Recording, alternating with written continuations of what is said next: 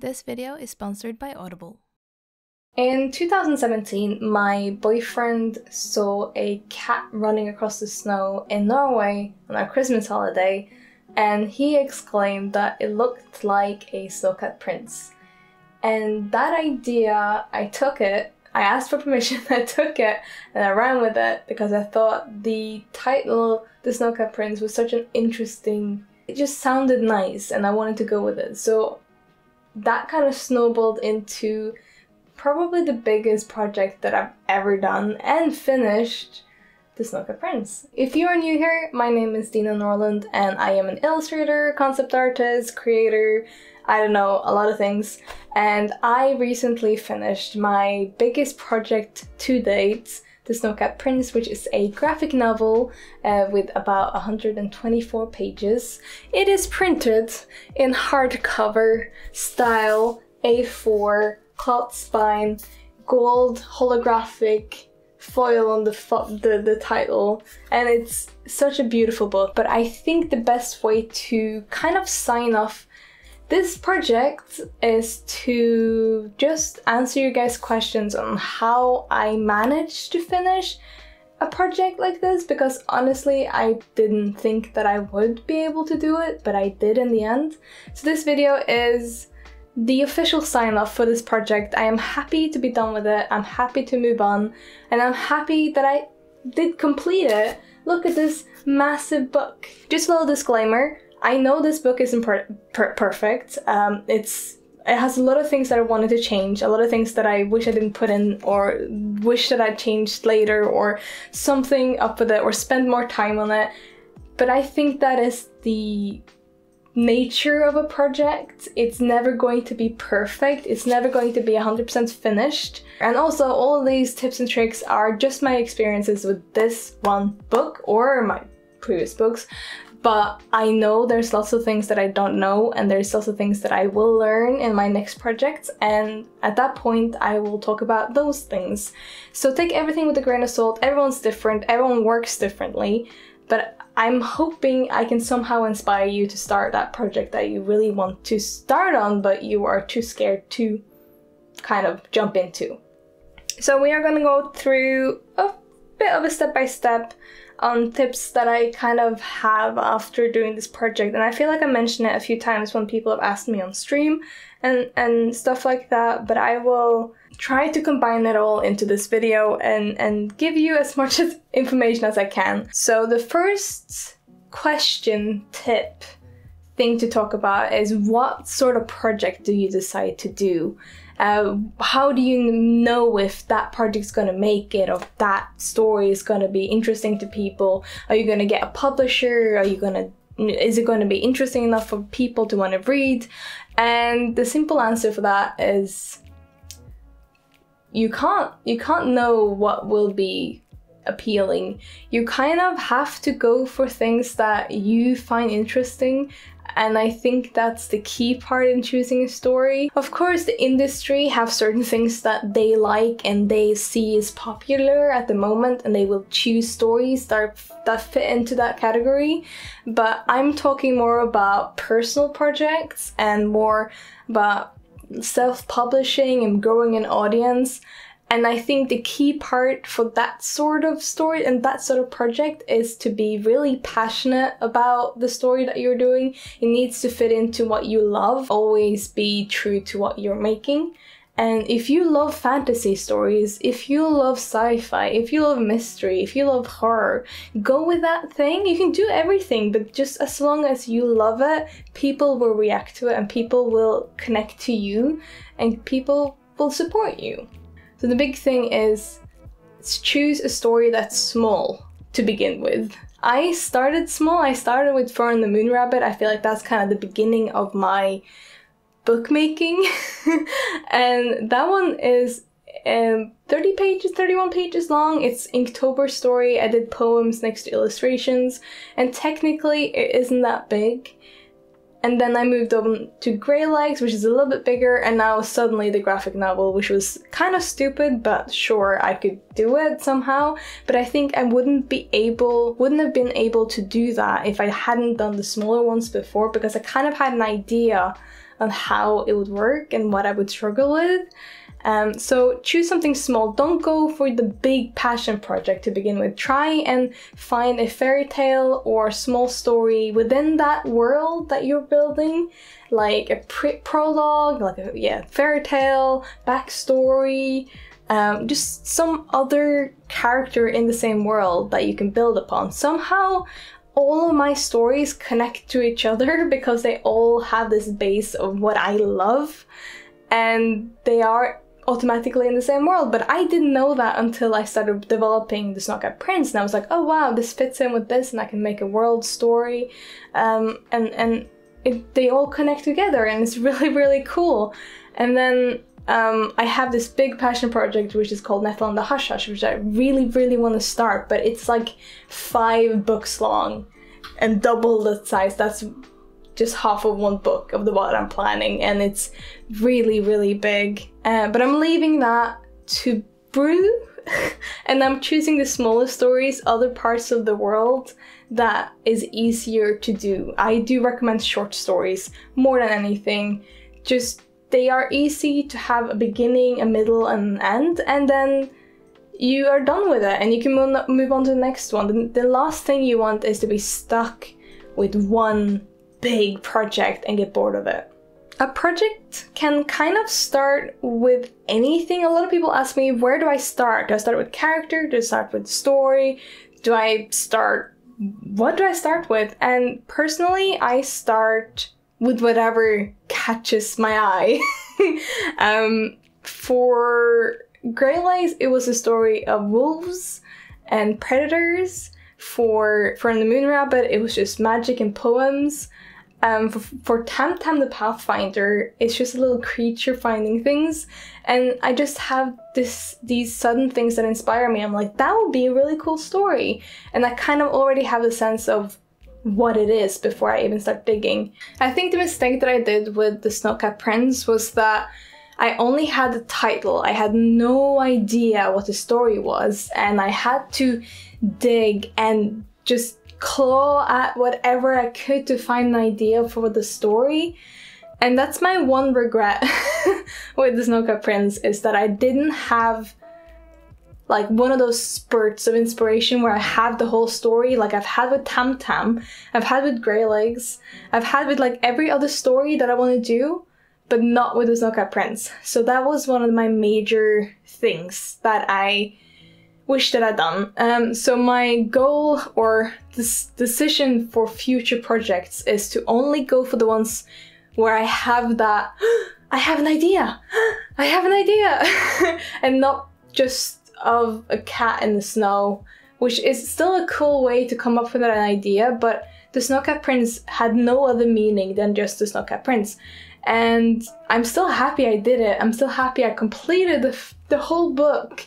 But it could have been an easier process. If you look back at those videos, if you go to the timeline, look at the vlogs, you can see how much I'm struggling with the story, how much help I needed from my dad to come up with a proper story that worked. It took a while, it took months of writing every single day to get to that point. Next tips is prepare absolutely everything. I promise you, you have to prepare everything.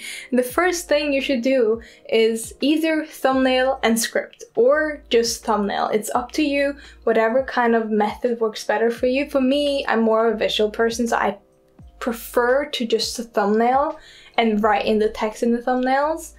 And for Snowcat Prince, it was a struggle. As I said, it was a harder thing to get into, so I had to write a lot of stuff before I could start sketching, but at some point I stopped writing and I just sketched.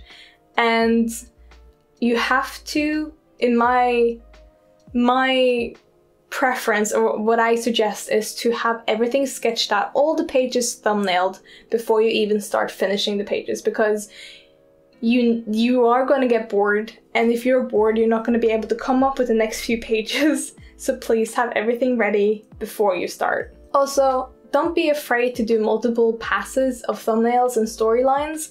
I did quite a few for the Snowcat Prince. I had to go back and forth with my dad, adding things, taking things out to be able to make the story to make story to make sense. So do remember to do that if you are feeling unsure about the story. Feel like feel free to change things up and try something else and see if that works better. Like you shouldn't be afraid to have to stick with one thing. But the button here is uh, don't tweak for too long. You don't want to keep that process going for way too long and then waste so much time on just tweaking. I think it's better to finish one thing and continue on a new thing later. Finish one thing so you can do another one and learn from the first one that you did and keep the process moving and not get stuck in trying to make one story perfect. So keep that in mind if you decide to jump back and forth between different rewrites and different stories. Um, have fun with it and try and be a bit loose. And I think the biggest thing is it's not going to be perfect, and you can just do it. Just, just yeah, just do it. It's, it sounds easy, but it's not.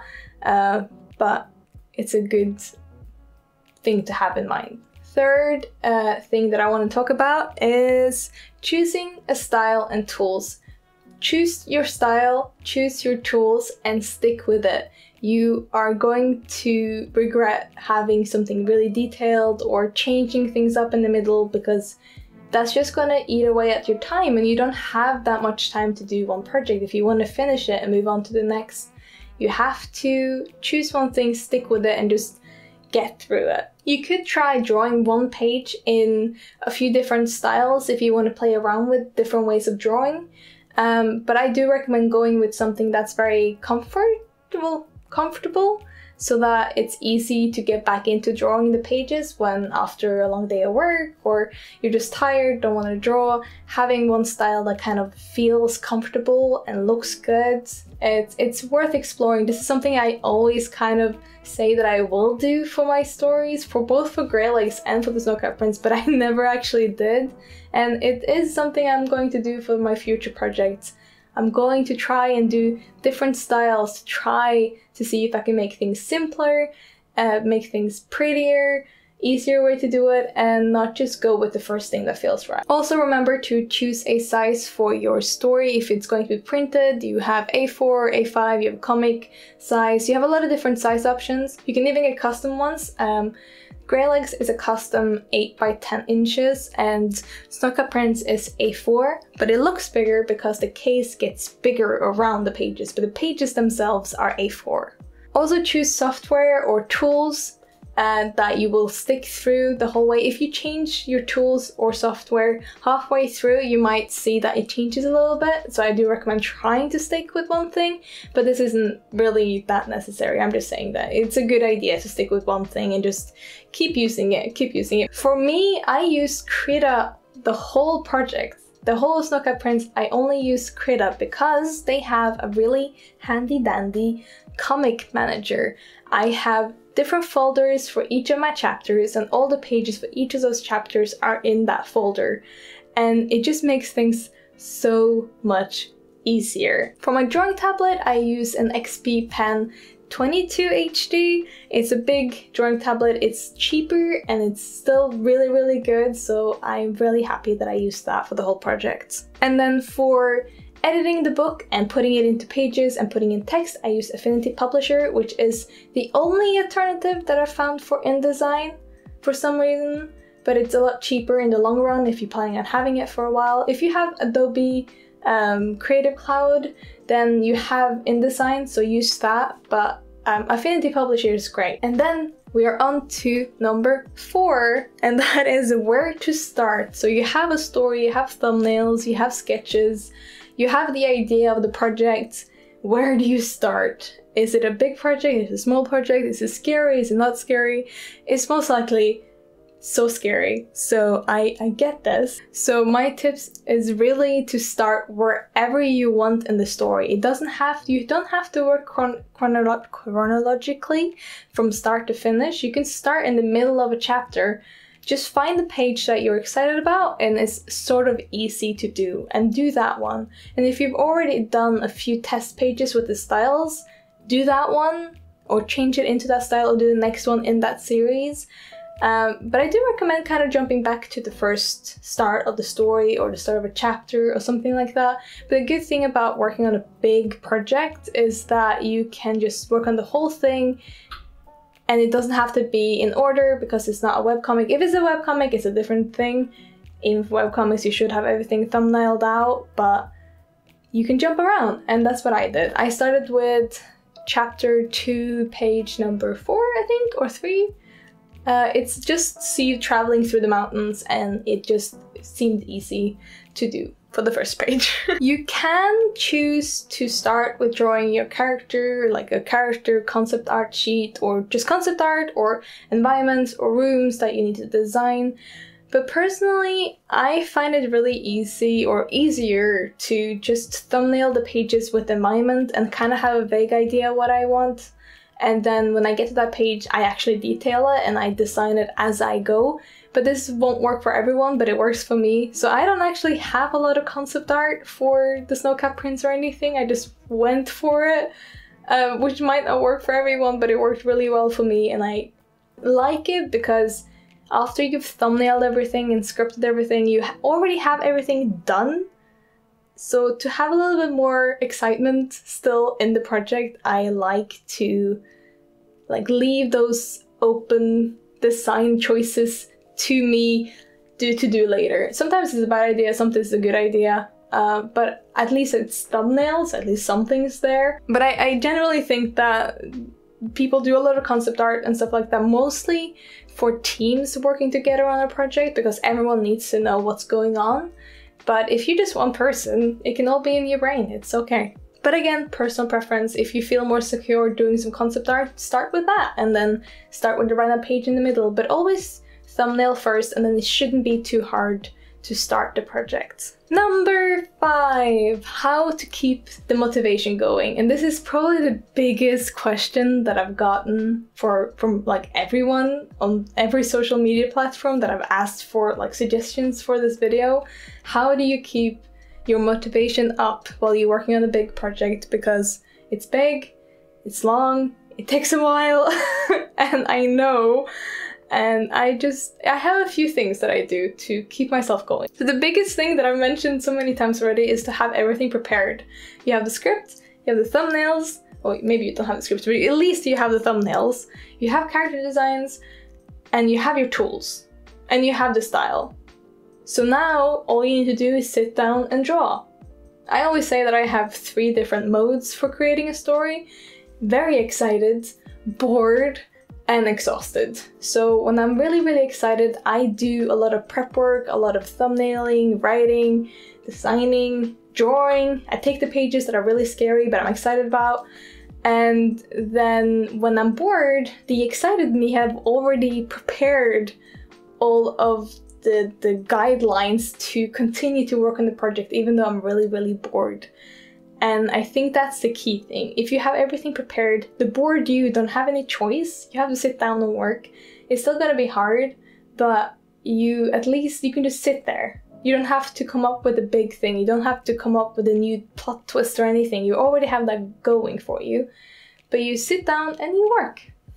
But if you do stumble upon a page that just doesn't work, you're just frustrated with it, you're scared of it, or something, skip it, jump to the next one and do that one instead. And then later you can go back to the one that scared you or just didn't work. That's a good thing about having everything done in advance. You can always skip to the next one and you're never really stuck. But when you end up in the exhausted stage, please, please do take a break.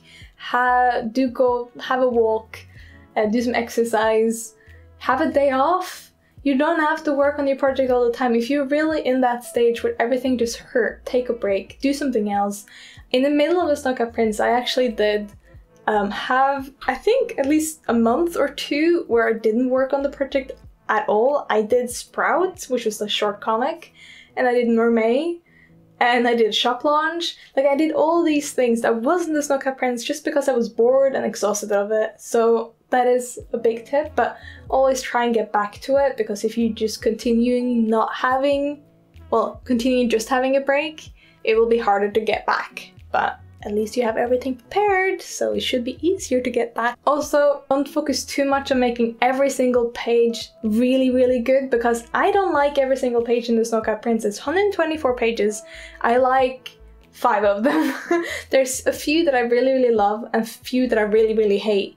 But the thing is, people aren't gonna notice that. People are just gonna enjoy the story because it's about the storytelling and about the the characters evolving and growing and things happening, not really each illustration and masterpiece. So focus on the storytelling and less about having a masterpiece. Just let things go and if you finish one page you didn't like it, you can tweak it later. You can tweak it at the end before you print it or before you publish it. So I feel like this is a good place to put a transition into today's sponsor, which is Audible. Audible kindly decided to sponsor this video and I'm really really happy that they did because I've been listening and using Audible audiobooks for years. They actually got me through my year at FZD and hours of work at my old job and still hour at works when I'm working at home and I'm just bored.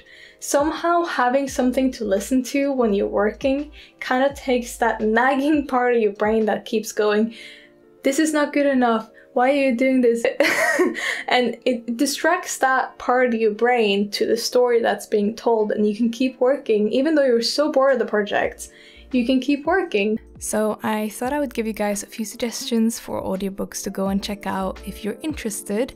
I personally love like realistic fantasy novels and one of the series that got me through FZD School Design with 15 hours of drawing a day was The Assassin's Apprentice by Robin Hobb and it's just hours and hours and hours of audiobook content that I definitely recommend you check out. If you want something that's a little bit more light-hearted, there is a book called The Girl Who Drank the Moon by Kelly Barnhill, and it's like listening to a Ghibli movie, and I've listened to it five times, I think. And if you like something a little bit more sci fi, if you haven't checked out The City of Ember by Jeanne DuPrau, I think. Uh, I definitely go recommend you check that one out. Audible have thousands of titles that you can look through. There is pretty much something for everyone, and I like listening to fantasy, but if you like listening to inspirational books, those are there too. So go check them out. And with this link, audible.com slash Dina, you can get a free month and a free audiobook. Uh, or you can text Dina to 500 500 if you are in the States. And we're moving on to number six. What to do when your book is done. So, as I said, this video is very much about self publishing and doing it yourself, doing it after work, doing it after day job, doing it after school. It's it's not really about how to get a publisher because I personally have never got to know a publisher. I don't know that part of the industry. I only know growing your own audience and doing Kickstarters. So that is what I'm going to talk about. In the future, I'm one I'm wanting to move into webcomics and webtoons specifically. I'm really excited about that. And that's going to be a whole other journey for me. I'm going to learn a lot more and I'm going to tell you guys about what I learn when I do that. Um, but yeah, if you are doing your own story, you've finished it. What do you do? So, the first thing that you should do, no matter if you're printing or if you're just posting online, is always put it into some sort of editing software. Well, not editing software. I talked about it before. Affinity Publisher is what I use. You can also use InDesign, which is the standard thing, professional professional standard. Oh god, words. Um, but you put them all in there. I put my text in there personally for because Krita isn't very good with text and you can also export all your pages from there to a print file, which is perfect because then your colors won't be messed up and all that stuff. About the CMYK thing, a lot of people are very confused about this. If you do decide to print your book, your book is printed CMYK. If you drew everything digitally, you drew it in RGB, which is the normal digital screen color space, but when printing, you use different a different color space which doesn't have certain colors that you can get digitally, and that is called CMYK. But a lot of people will tell you to draw your pages in CMYK. Don't do that. I don't do that. what you can do is that you draw them in RGB, which is the normal setting. Every program like has that as an automatic setting and then in the affinity publisher you can have it convert all your color spaces into CMYK when it exports the files i'll put my settings here so you can find it ask your printer what color um, CMYK profile they use because a lot of printers use different ones. And if you use the ones that they use, it will match the colors more closely. So try and do that. The one I'm showing is for Mixam, and that brings me over to the printer that I use, which is Mixam, and they're amazing. They are currently in Canada, in the States, in Australia and in the UK, probably somewhere else that I don't know, but they are everywhere. They're the most friendly, friendliest, friendliest people that I've ever talked to. They are so helpful. They've helped me a bunch, and if you ever have any questions, you can just ask them, and they have really, really, really good prices. I would never bind my books myself, so I'm very happy I have somebody who have really good prices and they're really nice and just helpful, helpful. So go check them out if you want to print something. They are the only printers I've ever printed with, and they are the ones that I recommend. Um, they even printed this one, which I didn't think they could. If you decide to do a Kickstarter, which is a natural progression for a lot of people who do their own projects, they want to kickstart their comic or yeah, Kickstarter story because they want to print it and printing costs money and it's nice to have money up front. You can also do pre-orders, which is pretty much like Kickstarter, but Kickstarter has a bigger audience or platform so you can get more new people and not just depend on your already existing audience. I will say now that the amount of support will vary very much for how many kind of followers, how many is in your community who are willing to support you. So don't expect a lot of support for your first project. Uh, as an example, my first Kickstarter was Fern the Moon Rabbit, which I think none, not that many people know of, but it was a uh, Inktober story. It was illustration with the poem. I printed it. It was I got 80 people supporting me on the Kickstarter. It was amazing. Thank you so much. And for Greylegs, it was about 450 500 people, and then for Snowcat, it's evolved into 1,300 people. So it does evolve gradually, and as long as you put yourself out there and share your work and talk with people, um, like engage in the community, you will slowly start to build your audience. And the more you do, the better you get. The better you get, the more people are interested, and it's just a nice curve of building it up. But I can't speak for anything else than what I've experienced myself. So, um, and I don't really know how to build an audience. I do recommend always do YouTube videos or be active on social media, be active with other people. I feel like the people that I feel I see grow really quickly are people who want to be a part of a community and they go to another artist, they're part of their community, and then they grow because everyone supports them because they're in that community. So be in the community, just don't only think about money, but think about having a collective of people that you are excited with and like, oh, I'm gonna do this project and you do that project and they support you and hype it up and it's amazing. So keep that in mind. Also, more Kickstarter tips. If you do decide to do a Kickstarter, please don't do any stretch goals to start with. They are a money pit if you don't know what you're doing. the only thing you th should think about is the cost of printing the book, how many you should print to be able to, like, how, wait, how many people you need or how much money you need to print that much, and also how much shipping is to everywhere in the world and how much that should be. Um, just plan out that. The main thing is to get the book printed, not the stretch goals, even though they're really fun and really cute, but the money it will not like it will go directly from your profit. The only reason you can introduce stretch goals is when you get so many supporters that the cost of the book is less than you planned, so that the part that it shrunk by if the so that since the profit expanded you can take a little bit more of that profit and put it into stretch goal that is the part of the stretch goal if you don't have that and you just plan to do a stretch goal, that will come directly out of your profit, and you don't want that. You just want profit, book, shipping. Shipping is really annoying. Also remember that the goal on Kickstarter includes the shipping. that one's annoying. just an example for the Snowcat Prince, 14,000 pounds went to shipping. So you see 58,000 goal reached. Well, 15,000 of that is shipping. and like shipping expenses and ooh, it's a lot of money. And that kind of concludes my tips on how to do a story. I hope you enjoyed, well, story a project, and I'm just so happy to be done. I'm so happy to be able to move on, to do new things, to new projects. This project was actually way too big. I would prefer a short comic to be about 50 pages. It would be a lot quicker for me to do. But yeah, I'm happy to move on. I'm happy it's done. I can. I just remembered I can do something on the on on this video. I did this when I started Greylegs. I made this thing where I put my next projects on it, Greylegs, that I could check off pretty quickly. The Snowcat Prince, which this is from 2018. Yeah, and then there are dragons in the tree is an idea that I want to do, and the house between the bridges, which is inspired by this area. Let's see if I can cross Snowcat Prince out. This is kind of a big thing for me. You guys have no idea how long I've looked at this thing.